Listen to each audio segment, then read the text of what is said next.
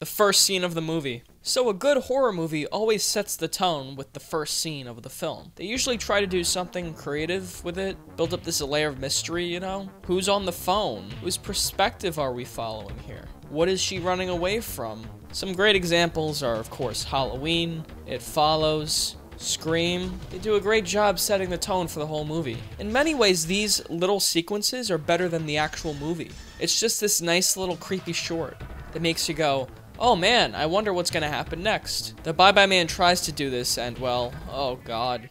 Oh my god, this is so overexposed. So for those of you who don't know what overexposed means, basically underexposed is this. You can't see shit.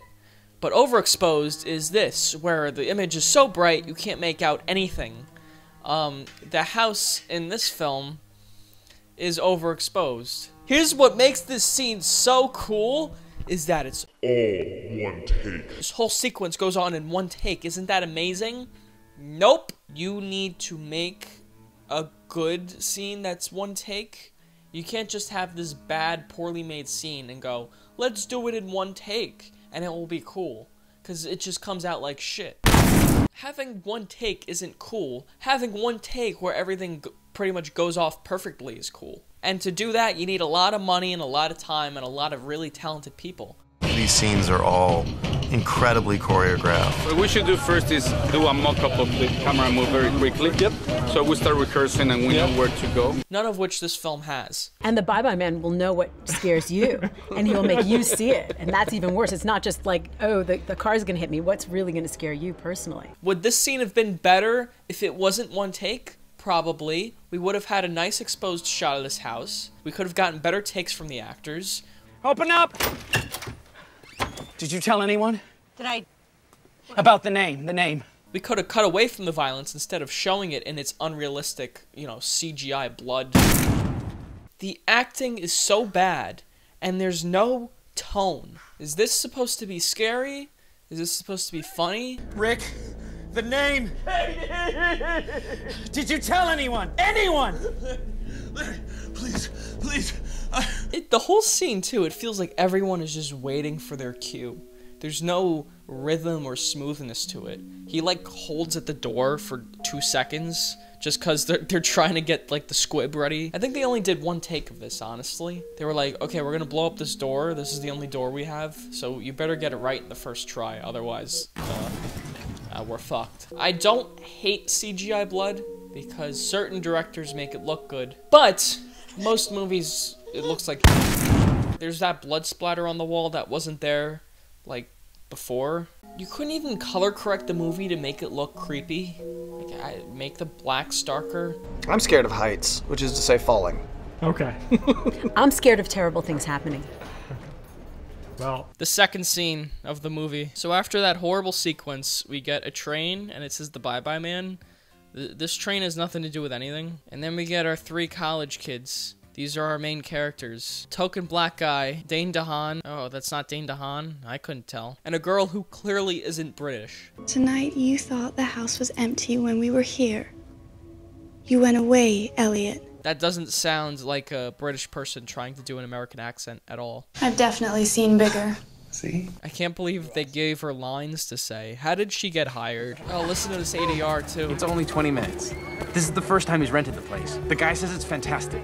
What else would he say? It's a doghouse? I'm trying to convince her. Let's go. Come on, man. Work with me. Wow, they crammed in so much exposition. That's quite impressive, actually. So here's a question. Why didn't the movie start here? I mean, they're in the house. We're introduced to the three of them. We didn't need this stupid scene that was, like, unintentionally funny. Don't say. Don't think. Don't say. Don't think. And then we just have literally this one shot of them on a college campus. You could have just started the movie with them going into the house and then mention how they go to college. And there's just three people living there, a couple, and then this random black guy. Like, why doesn't this black guy have a girlfriend or a boyfriend? Meanwhile, this crackhead has one. Hell. The landlord said it was fully furnished. Have these people never seen this house? They're going to college, right? The semester started. Who the fuck just moves into a house without seeing it? Why is this here? And now we get the character development scenes. hey, he made me look smart, and I made him look ugly. But after the crash, he took care of me. Talk shit about my boys, folks, you're done. Do friends ever just talk like, Hey, remember the time I saved you time from the we guy who talked shit about we did Bob? that? Hey, he made me look smart, and I made him look ugly. But after the crash, he took care of No one does that. Now we're gonna enter the creepy basement that's creepy for no reason. Yo, all the dishes in here, they're white. Just saying. Alright. The dishes are white. Would you have preferred black dishes, brown dishes? Uh, most people ha- just have white dishes. Even if you own other kinds of dishes that are like brown and black, which I do have as well, or they're like red, I, I still own white dishes. Who doesn't own white dishes? I see she approves, huh?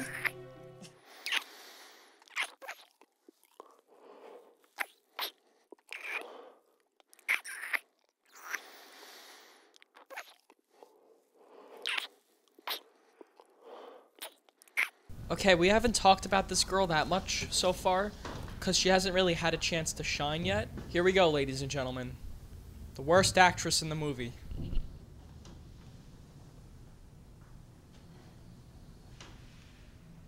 Oh shit!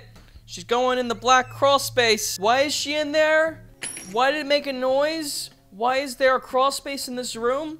Because we're in a horror movie, guys, and you, you gotta have things like that to be scary. I really love the story. Um, I, I really, I think the characters were really likable. I really liked her strength and her vulnerability, and the fact that she comes into the house and she feels something straight away, and I think all along knows that there's something wrong. Um, I think it's it, it's you know it's a horror film and it's scary. I hope it will be scary. the rest of the movie. So basically, every scene after those first two scenes are just as bad as those two scenes. Hi, Uncle Elliot. Hey, yes! Hey, hey. Kid actors! Kid actors are always good in movies. I hope this one is just exceptional. Daddy, you know I can't read in the dark. What do you think I am, a flashlight? Yes! She's an excellent actress! She's fucking good! I'm not the heaviest or the oldest. Dad's the oldest and he's the heaviest. What? Why is this fucking four year old at this party? There's people drinking, there's college students, there's loud music, they're probably playing Kanye West and all kinds of shit where they're constantly saying the N word, and yet this four year old's walking around in a dress. She's just gonna burn some sage and you are gonna be nice. This is so bad and stupid. John, do you think this house is creepy? Mm, Yeah. I don't, What was that sound effect? Yeah. What was that? Yeah. I didn't even notice that the first two times I saw it. I just noticed that now. And of course, this little girl's all alone. She goes through the entire house trying to find something. And she almost gets killed by the Bye Bye Man. Oh shit! What is that?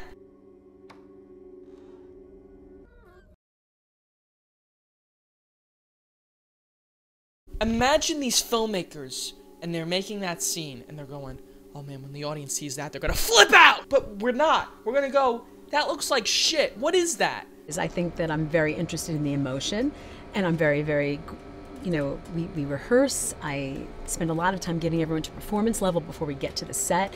And I'm extremely detail oriented. You know, women have to balance a lot of stuff. Well, it's like directing is just a natural job for, for me. I, uh, I'm You suck at making movies. Okay? This shot sucks, her acting sucks, the scene sucks, the fucking lighting in this scene sucks, everything about this scene sucks. Why is there a lamp over there on top of the dog's head? Who put that there? Why is that there? What is that coat hanging on the wall? That's only there so the audience goes, Oh my god, is that the Bye Man? What sense does it make for that coat to be there? So does the guy just have this giant Grim Reaper coat he brings along with him? Hey, here's my Grim Reaper coat I'm never gonna wear ever. I'm gonna put it right here so that when I wake up in the middle of the night, when I have a nightmare about something, I can just look at that wall, see that creepy fucking Grim Reaper coat, and be slightly startled for a second.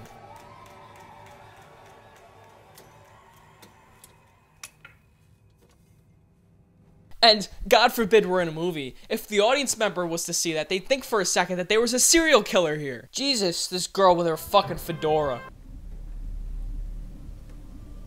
Don't think it, don't say it.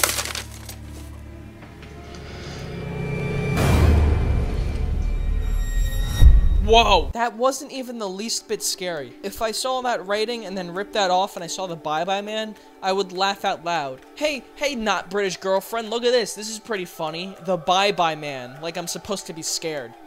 The Bye Bye Man. They called their movie The Bye Bye Man, and they expected me to be scared. And then fucking Indiana Jones comes down, doing some ritual at a Temple of Doom. We have a psychic character now. As if this movie wasn't full of cliches already. Now we have the the goth girl who has some paranormal abilities.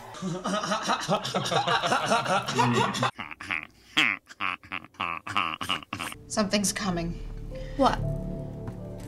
They're saying, Oh, she's so bad too. don't think it. Don't say it. Don't say it. Don't think it. Don't say it. Don't think it. Don't say it. Don't think it.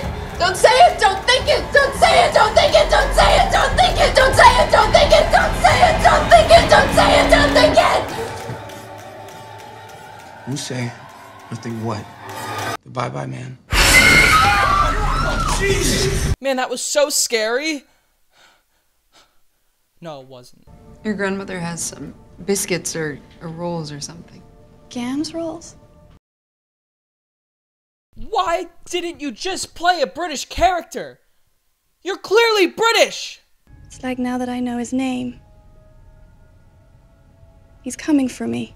What fucking American talks like that? We could try again. So what does the Bye Bye Man do? He makes you hallucinate and see maggots, and he keeps you from having sex. These things happen, right? Oh, actually, not to me, they don't. So just anyone who hears the name? That's what he does? Okay. Dude, check this out. It was Colin or one of those douches from last night. It looks like a fucking bear did that. You're just your friends did it? I heard something after the party outside, scratching. What do you mean you heard something? Great dialogue. What do you mean heard something? He means he heard something. He doesn't know what. He means he heard something. So why don't you take him seriously, you dick? No one listens to anyone in this movie. Everyone's just an asshole for no reason. The girl's gross, man. Total pig. Come on, man. That's not cool. Don't say that. Don't say that. Don't think that.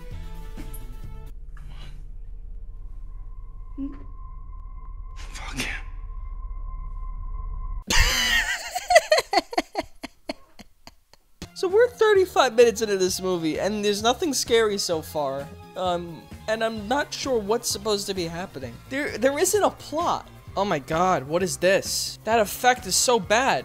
They like distorted the image. They did this, basically. Oh, I love these bad Google knockoffs. Search. Hold on, everyone. I'm going on search to search. And why is he at the library doing this shit? He doesn't have a laptop at home? Me and my friends are renting your place out in Sun Prairie.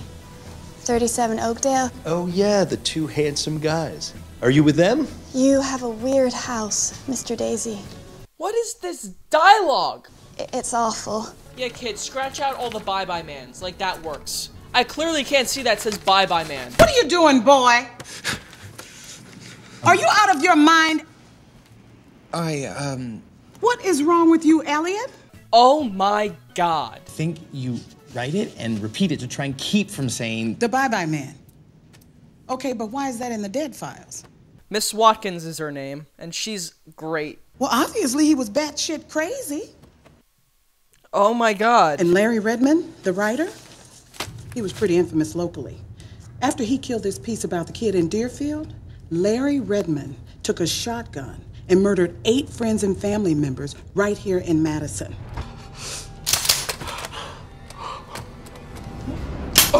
This is a message to everyone making a film, everyone involved in the entertainment industry. Stop using this fucking violin. It's this stock sound effect, and I hear it in everything. Everything. It's in Game of Thrones.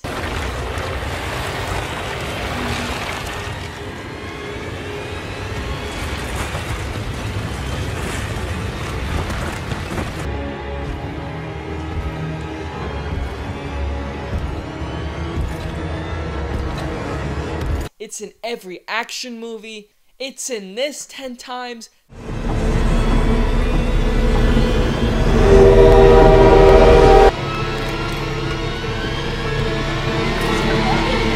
Stop using it. So, and I paused this scene too because I wanted to make sure it was them. Of course it's not.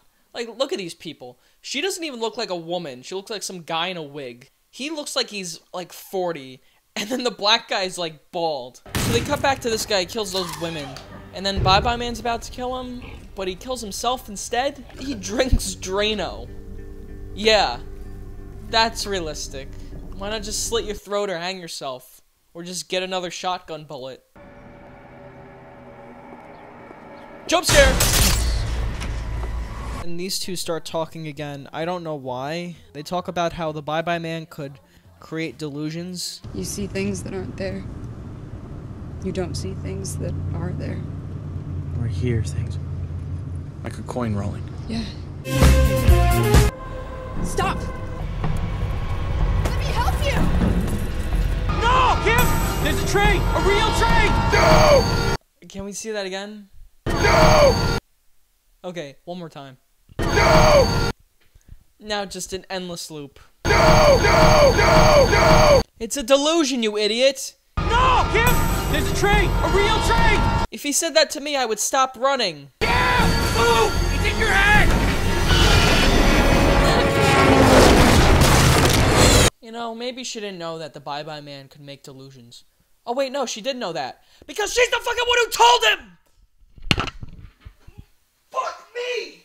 What the fuck is this? And this scene leads into this scene, which I think is actually the best scene in the movie.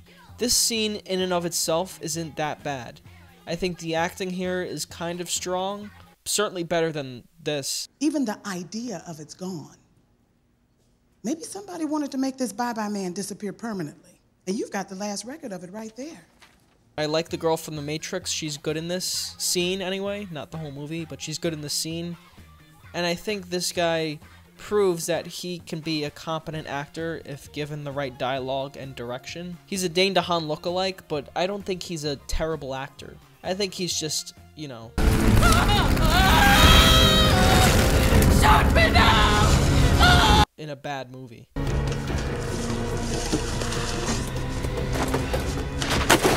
Why didn't you burn the drawer? You take something that could do real harm to people and you throw it out in the woods. Like the kids at the end of Jumanji, who instead of burning the fucking thing, throw it in the river. Someone else will find it, dummy! You didn't even throw it that far. How far can you throw it, possibly? 20, 30 feet, tops. Burn the drawer, burn the house down, burn that fucking coat, burn Miss Watkins, kill your friends, then kill yourself, and fuck off! This isn't a movie! The girl thinks that her boyfriend is there, and the, the black guy thinks that the the girl is actually the older the other girl who got run over. Come on. No! Please. and they fight, I guess, and then Dane DeHaan comes in after talking to uh, Faye Dunaway. How did you survive all this time? Survive? Yes. How did you beat it? I didn't beat it. I never knew it. What? If my husband told me the name, he'd have had to kill me with the rest. My husband controlled himself. You know, Faye Dunaway doesn't have to worry about the Bye Bye Man. Even if you were to write down the name and give it to her, she'd probably read it wrong. Come on. La La Land. And then, meanwhile, in the background, uh, Miss Watkins killed her family or something. I've been having some really strange thoughts about that Bye Bye Man since we talked. Uh, Miss Watkins, she has that coat too. Of course she does. Why wouldn't she? Everyone has a Grim Reaper coat in their own fucking house. And then, as Elliot's heading home to go see his girlfriend and and the black guy, he this happens. You're not real. I knew it.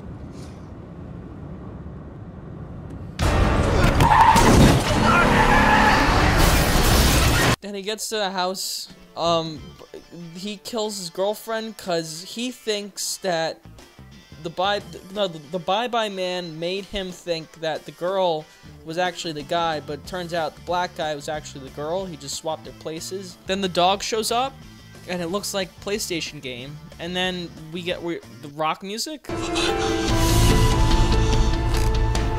Sounds like something from Goosebumps, the TV show. And then tur- turns out Doug Jones is actually the Bye Bye Man. Director Stacy Title and uh, writer John Penner were uh, would love to have me involved in the Bye Bye Man. Like like any film, it all starts with a script, I think. And when I read the script for this, this one had had so much psychological layers to it, so many layers to it that Larry, I, I, I don't know what's happened, but I, I'm He listens for his name. Anyone could say it. It could be you, or it could be me. And it's just dumb luck, like the flip of a coin. And it kept it kept my mind active while reading it. Um, and hopefully it will keep the audience's mind active while watching it.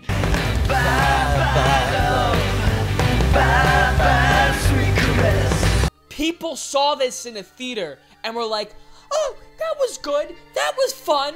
This is a good horror movie." Let's. I'm going over on Rotten Tomatoes right now. I want to see what morons said this is a good movie. I usually don't care about other other people's opinions. Like, if they don't like a movie, that's fine. You have the right to your opinion. If they like a movie I didn't like, they, they, I could go like, you know what, you liked it, you saw things in it I didn't like. I don't get mad over people's opinions, but with this movie I do. 23% is too high.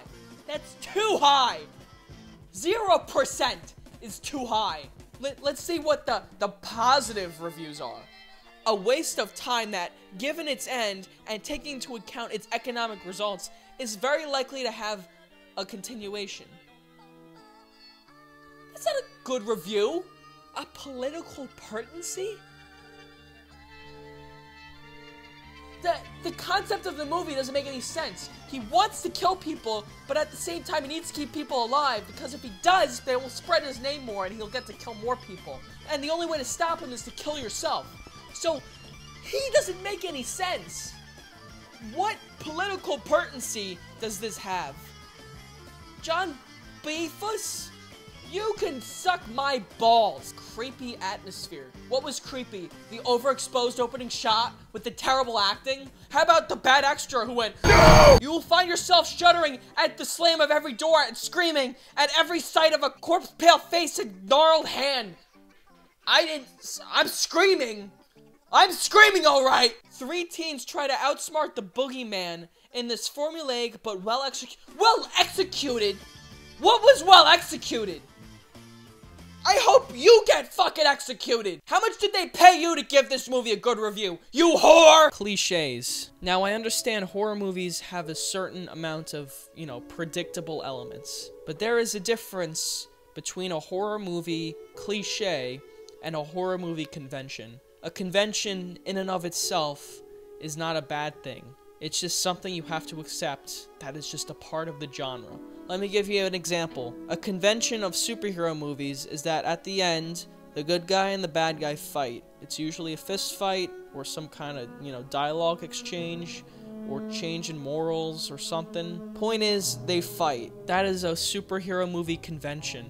No one will complain that the good guy fights the bad guy at the end of the superhero movie. A superhero movie cliche is there's either a big blue laser that's gonna kill the whole planet, or there's some kind of gas that's gonna kill a city. That's a cliche. Horror movies are always gonna have certain elements, like a dark tone, some kind of house or something, a monster that has some supernatural elements to it, a killer that doesn't die. All of that is fine, because those are just things that you have to accept in a horror movie. But then there's things that are just stupid and cliche and bad. I have a whole list of them. Jump scares.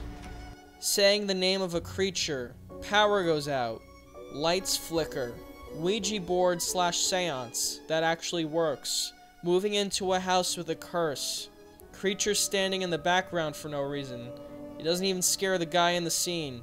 He's there just to make the audience go, Oh my god, it's the Bye Bye Man. College students, goth chick, token black guy, talking to someone on the phone, but then figuring out you got something else to do, and you say, I've gotta go urgently. You know what? Listen, I, I gotta go.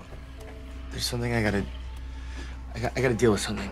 Random crawl space that is there for no reason, like in Get Out. Going to the library to find out more about a villain. Whatever the character is reading, he says out loud. Just your archive, Dead File 69. Redmon. Consulting an expert that knows everything about the villain for no reason. Fake movie Google. Orphanages. Has something to do with the background of the Bye Bye Man. He's from an orphanage uh, or something. Spooky basement. Getting locked in the basement for no reason. Door closing behind someone. Writing on a wall. That's like scary. Going out in the middle of the night to investigate a noise. Because real people do that, right? If I hear a noise outside, I don't just call the police or look out my window. I go outside with a flashlight and investigate it. Myself. With no weapons on me. That's what real people do. Authorities don't believe the kids. And the biggest cliche of all, the violin.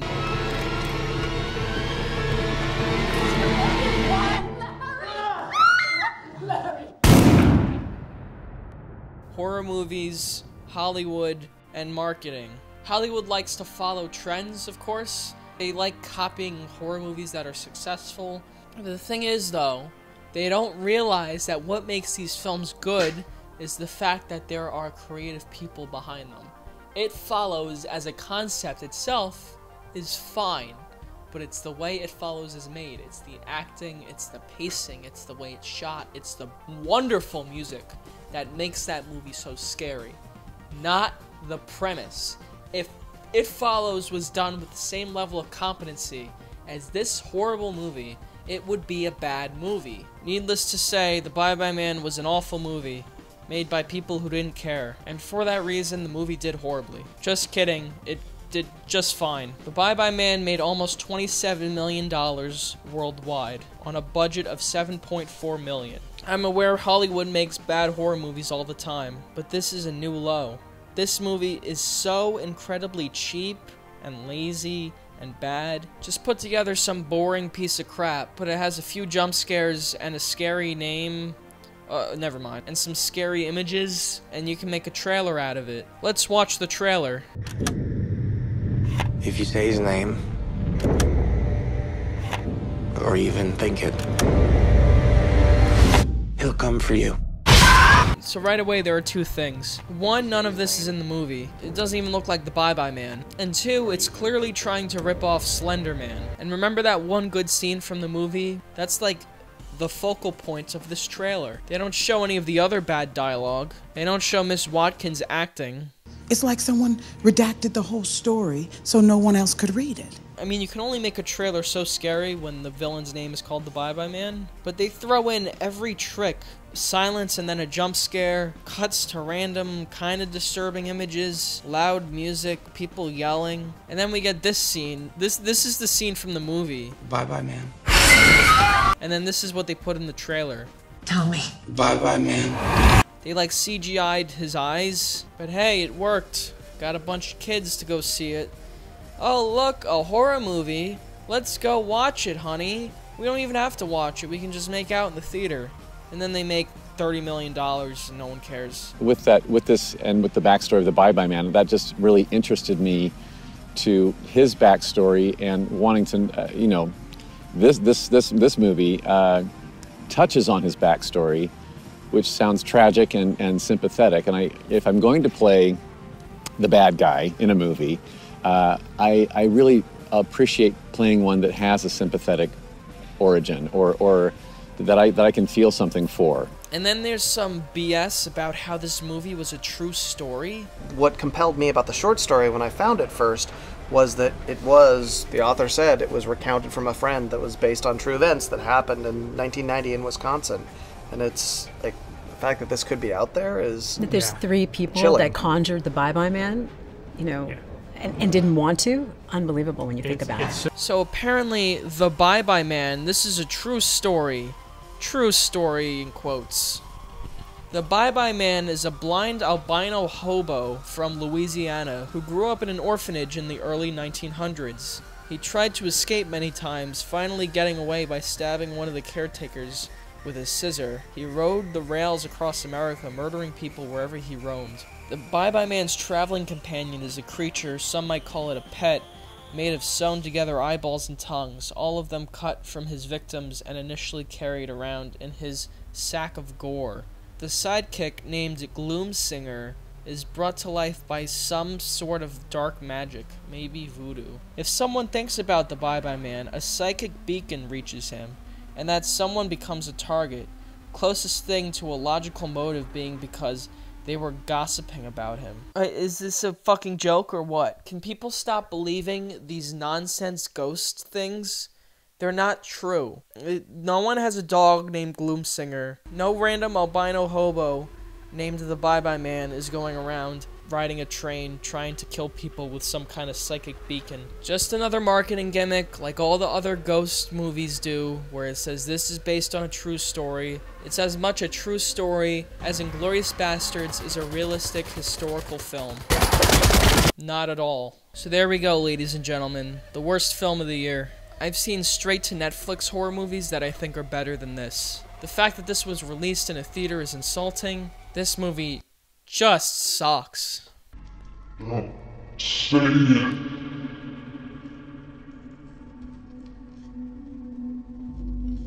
say it. Don't think it. Don't say it. Don't think it.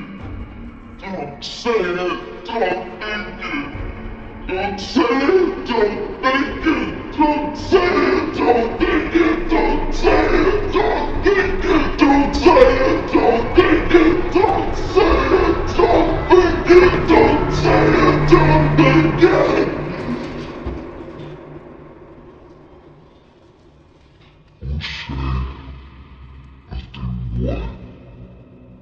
The Bye Bye Man.